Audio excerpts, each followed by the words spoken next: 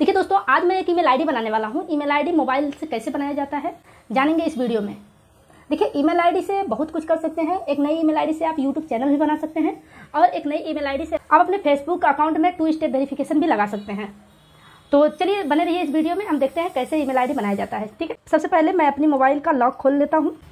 देखिए, अब मैं मोबाइल को खोल लेता हूँ और इसके बाद मैं इसमें जाता हूँ। प्ले स्टोर में आप जाइए। प्ले स्टोर में जाने के बाद आप क्या करिए इसमें प्ले स्टोर को खोल लीजिए। प्ले स्टोर को खोलने के बाद यहाँ पे जो कॉर्नर में आपको ये आप, ये कॉर्नर में जो आपके ईमेल का जो आपने प्रोफ़ाइल फ़ोटो लगाया हुआ है वो प्रोफ़ाइल फ़ोटो आपको दिखेगा तो उसको क्लिक कर लेते हैं। अब देखिए, यहाँ पे मेरे पास कई ईमेल आईडी हैं तो इस, इन ईमेल आईडी को मैं यूज़ नहीं कर, अब देखिए, मैंने ऐड अनदर अकाउंट को क्लिक किया। यहाँ पे आप देखिए कि थोड़ा सा ये सर्च करेगा। इसके बाद पूछ रहा है कि मेरी मेरे मोबाइल का पिन पूछ रहा है।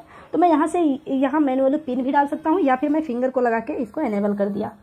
अब यहाँ पे देखिए ये कुछ देर तक बफरिंग करेगा। इसके बाद यहाँ से ये देखिए, यहाँ पे ऑप्शन आ रहा है कि sign in with your Google account तो यहाँ पे आपको अगर गूगल नया गूगल अकाउंट नया बनाना है तो आप यहाँ पे न्यू अकाउंट पे क्लिक करेंगे। तो देखिए, यहाँ पे न्यू अकाउंट पे क्लिक करना होता है। अब यहाँ पे दो ऑप्शन दिख रहा है फॉर वर्क और माई बिज़नेस और यहाँ पे फॉर माई पर्सनल यूज़ तो यहाँ पे मैं आपको दोनों में फ़र्क बता दूँ। अगर आप पर्सनल यूज़ वाला करते हैं तो देखिए, दोनों ईमेल आईडीज आपकी फ्री में बनेंगे। लेकिन जो पर्सनल वाला है, उसमें सिर्फ़ आप आपका नाम ही लेता है। और जो बिज़नेस वाला है, जैसे कि मैं कहूँ कि मुझे एक करना है, मुझे नई ईमेल आई जो बनाना है, वो मुझे बनाना है मोबाइल टेक्नोलॉजी से, या फिर मोबाइल टेक नाम से बनाना है। तो इसमें हम जो ईमेल आईडी बना रहे हैं, इसमें प्रॉब्लम ये होगी आपको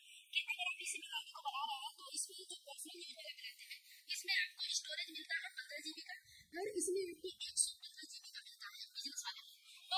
मैं रिकमेंड करूँगा कि अगर आप एक चैनल चलाते हैं या फिर कोई फेसबुक पेज चलाते हैं तो आपको सबसे अच्छा यही होगा कि आप ये बिज़नेस वाले ऑप्शन को क्लिक करिए।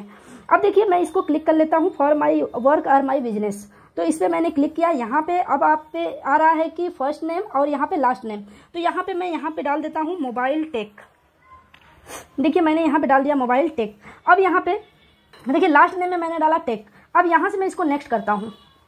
नेक्स्ट करने के बाद यहाँ पे आपसे डेट ऑफ़ बर्थ पूछ रहा है। तो जब आप बिज़नेस को अपने ओपन किए थे, उसकी भी डेट डाल सकते हैं और आप अपना खुद का भी डेट ऑफ़ बर्थ डाल सकते हैं। ये ऐसा होता है कि प्रोफ़ाइल में जो आप मेंशन किए रहते हैं, कभी आपकी ईमेल आईडी क्रैक हो जाती है या फिर आपकी ईमेल आईडी में कोई प्रॉब्लम होती है तो उसको आप रिकवर कर सकें, उसके लिए ये सब इन्फॉर्मेशन ईमेल खुद से माँगता है।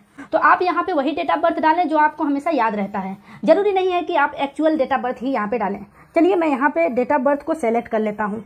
यहाँ पे मैंने अगस्त किया, यहाँ पे मैं इसको बारह कर लेता हूँ और यहाँ पे यहाँ पे डेट को मैं यहाँ पे डाल लेता हूँ। अब यहाँ पे देखिए, आपका बिज़नेस है तो बिज़नेस में ना तो मेल होता है, ना ही फीमेल होता है, और रेदर आर टू नॉट से यहाँ पे कस्टम भी आप कर सकते हैं। यहाँ पे मेल कर लीजिए, ठीक है? देखिए, ये अगर मैं अभी बिज़नेस को बिज़नेस का ऑप्शन सेलेक्ट करता तो इसमें कई चीज़ें मेंशन करनी पड़ती। जीएसटी नंबर माँगता और या फिर आपसे उद्योग आधार माँगता तो लेकिन इसमें मैं यहाँ पे मेल डाल लेता हूँ प्रॉब्लम कुछ भी नहीं होगी। अब यहाँ पे देखिए, यहाँ से नेक्स्ट कर लेते हैं नेक्स्ट करने के बाद यहाँ पे देखिए ईमेल आईडी कह रहा है कि क्रिएट जीमेल एड्रेस तो यहाँ पे मैं मोबाइल टेक मोबाइल टेक मैंने लिखा। अब देखिए यहाँ पे अगर ये खाली होगा तो ये ले लेगा। लेकिन अगर ये यूज़र नेम खाली नहीं होगा तो नहीं लेगा। तो यहाँ से मैं नेक्स्ट करता हूँ। देखिए इसने नहीं लिया तो यहाँ से मैं कस्टमरली यहाँ पे डाल देता हूँ। ये मैंने यहाँ पे कस्टमरली डाल दिया। अब ये यूज़र नेम ले लिया। अब मुझसे ये पासवर्ड पूछ रहा है। तो चलिए मैं पासवर्ड डाल लेता हूँ। अब यहाँ पे मैं पासवर्ड को डाल लेता हूँ। यहाँ पे मैंने पासवर्ड को डाल लिया। अब यहाँ से कुछ ऐसे पूछ रहा है कि ऐड ऐड मोबाइल नंबर तो यहाँ से मैं चाहूँ तो ऐड मोबाइल नंबर कर सकता हूँ, या फिर नहीं चाहूँ तो नहीं कर सकता। तो यहाँ पे मैं कोई मोबाइल नंबर नहीं ऐड कर रहा, मैं सिर्फ़ आपको बता रहा था कि कैसे ईमेल आईडी को बनाया जाता है। तो यहाँ से मैं यस आई एम इन कर सकता हूँ, और यहाँ से मैं इस ईमेल आईडी को स्क्रीन शॉट करके रख लेता हूँ, क्योंकि ये ईमेल आईडी मुझे काम आने वाली है। अब यहाँ से मैं इसको नेक्स्ट कर लेता हूँ। नेक्स्ट करने के बाद ये देखिए, आपकी ईमेल आईडी जो है वो रेडी हो चुकी है। अब देखिए, ये ईमेल आईडी पूरा क्रिएट हो चुकी है। अब इस ईमेल आईडी को हम जैसे भी चाहें वैसे यूज़ कर सकते हैं। देखिए, हमारी पूरी ईमेल आईडी बनके तैयार हो चुकी है और ये ईमेल आईडी रेडी हो चुकी है तो आप इस ईमेल आईडी को फेसबुक व्हाट्सएप इंस्टाग्राम या फिर आप यूट्यूब में भी यूज़ कर सकते हैं।